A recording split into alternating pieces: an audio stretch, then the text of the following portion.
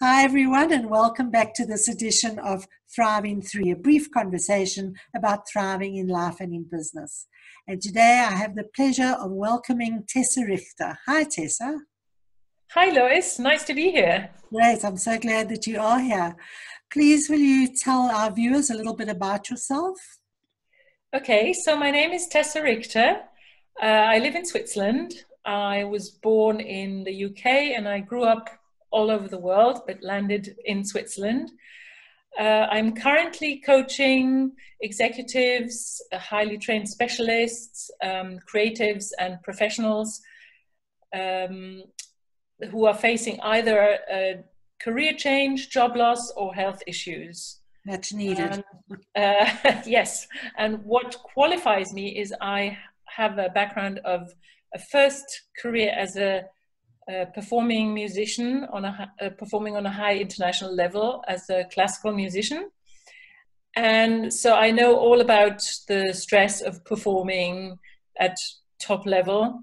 I've also changed careers several times. I also had a career as a as an artist a visual artist set up my own business um, training languages in uh, businesses. Um, yes so that's my background Fascinating career. And what was your musical instrument?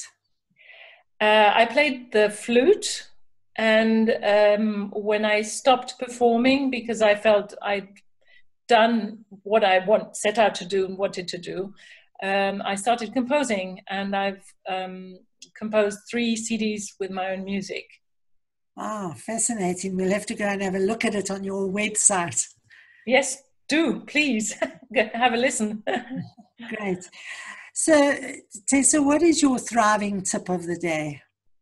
So, my tip is something that sounds quite simple, but is really very profound, and that is loving who you are. Um, I found this um, missing ingredient, if you like, because I mean, I was, you know, I I was thriving actually um, with everything I've described, and then I got seriously ill a few years ago, and um, I had learned to turn inward and listen to myself. And the message was, you've learned to love others unconditionally, but not yourself. So then I thought, well, what does that mean? You know, and in fact, the hard part is loving not just myself as a person, but everything that it entails. In other words, the situation I'm in, the relationships I'm in, the um, uh, conditions I've created in my life, having lots or no or little money or, you know, everything that's part of my life, that is also included. And I found this to be a very, very powerful tool, uh, one of the very powerful tools to heal myself, because that's also been like, besides my artistic um, and, you know, um, business endeavors, I've also had a, a, healing thread in my life, if you like, and the combination. And in fact, I found the, the deep connection between living who I am, living my potential, and health and well being.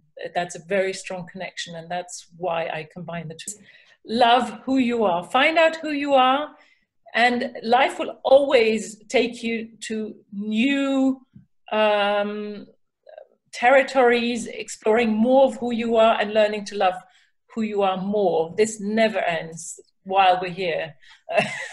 well, that is definitely not simple. So, can you give us one simple tip on how we can start that process of self love?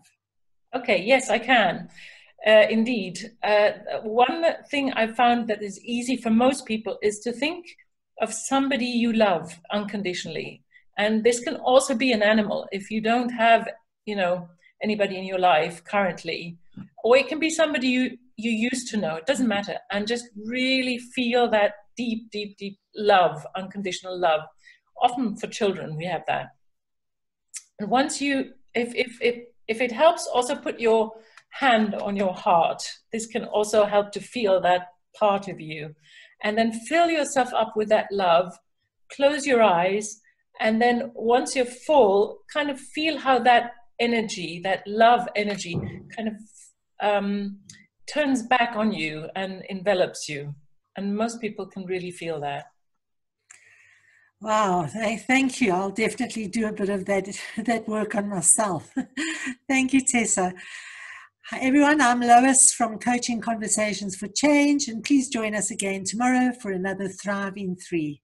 Thank you so lovely much, Tessa. Yeah, lovely to be here. Bye. Thank you. Bye.